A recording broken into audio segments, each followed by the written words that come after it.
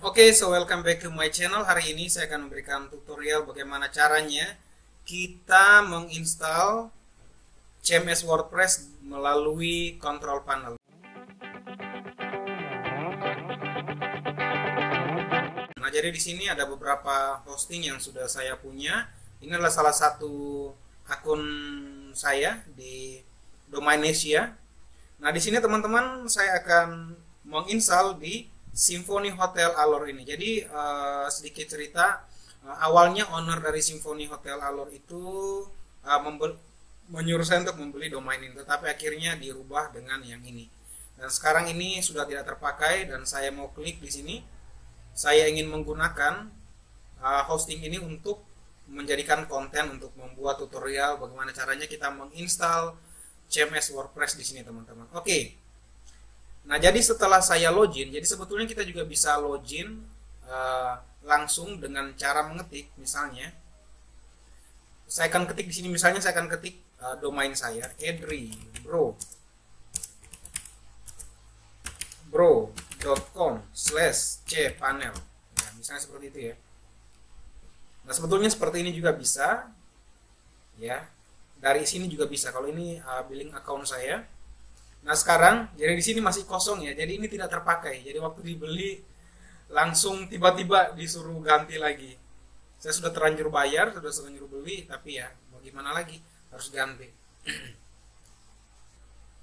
Oke setelah ini saya akan klik instant deploy application. Oke setelah itu setelah saya klik itu saya pilih WordPress. Jadi di sini ada bermacam macam CMS ya. Jadi saya akan menginstal WordPress. Oke. Setelah itu teman-teman saya akan memilih ini. Install now. Kemudian di sini ada beberapa versi dari uh, WordPress. Mulai dari 4 titik sekian sampai dengan yang terakhir itu 5.4. Nah, di sini saya akan memilih protokolnya, ya. Misalnya saya memilih protokolnya bisa jadi HTTPS yang www atau yang ini. Jadi saya tetap memilih, saya akan memilih yang uh, HTTPS. Jadi teman-teman bebas ya. Tapi saya sarankan untuk HTTPS untuk kita uh, gunakan karena protokol ini berarti uh, website kita itu secure. Sebagai contoh seperti ini, Edri Pro. Nah, ini saya gunakan uh, protokol HTTPS. Waktu kita klik yang ada tanda ini, maka di sini ditulis dia secure, teman-teman ya. Jadi dia itu secure, verifikasi ya ininya. Oke, jadi dia verifikasi teman-teman seperti ini. Ya. Sertifikatnya verifikasi teman-teman. Oke, seperti itu ya. Jadi saya sarankan untuk memilih HTTPS. Kemudian kita membuat apa nama daripada website ini. Nah, nama dari website ini adalah Sim Phony Hotel Alor ya.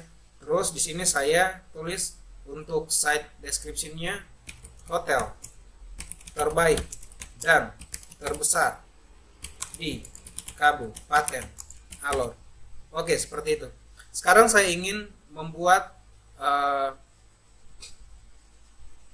username-nya adalah Symphony.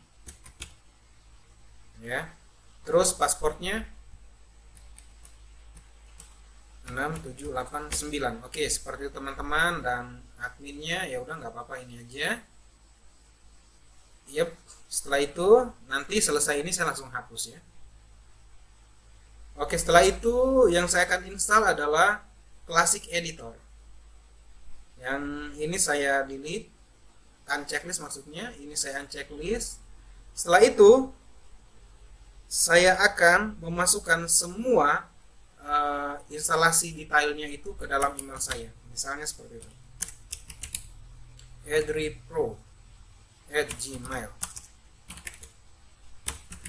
jadi uh, detailnya saya install ini pasportnya apanya semuanya akan masuk ke email saya seperti itu tapi sebagai admin dia akan masuk ke email yang ini. Jadi teman-teman bisa tentukan email mana yang akan menjadi admin ya dari website ini. Kemudian sekarang kita klik install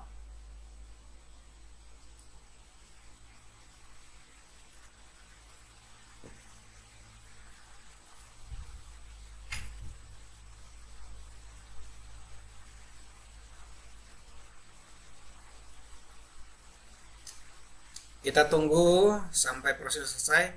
Oke sudah selesai teman-teman. Sekarang bagaimana cara kita mengaksesnya? Secara default ya dia langsung memberikan kita ini. WP strap admin. Jadi kita klik ini akan masuk langsung ke dashboard dari website ini teman-teman. Oke sudah selesai teman-teman. Jadi ini adalah dashboard dari uh, website WordPress ya. Jadi dia secure kita klik ini kita lihat teman-teman. More. Nah dia secure teman-teman ya. Oke jadi seperti itulah bagaimana caranya kita menginstal WordPress melalui cPanel kita ya. Dengan menggunakan yang ini teman-teman. Menggunakan ini. Softcolus Application Installer. Kita bisa gunakan ini. Kita juga bisa gunakan langsung ke sini ya langsung ke sini. Jadi instant the flow apps. Jadi ini sama aja sebetulnya. Di sini kita langsung ke WordPress sedangkan yang di sini kalau kita klik tadi ada beberapa icon yang kita akan pilih. Icon-icon daripada uh, platform CMS oke jadi itu saja teman-teman. Semoga tutorial ini bermanfaat untuk kalian. Apabila itu bermanfaat silahkan berikan like dan bisa di share ke teman yang lain. Dan untuk mendapatkan video-video terbaru dari saya silahkan memberikan subscribe Okay, so see you next time guys. Bye bye.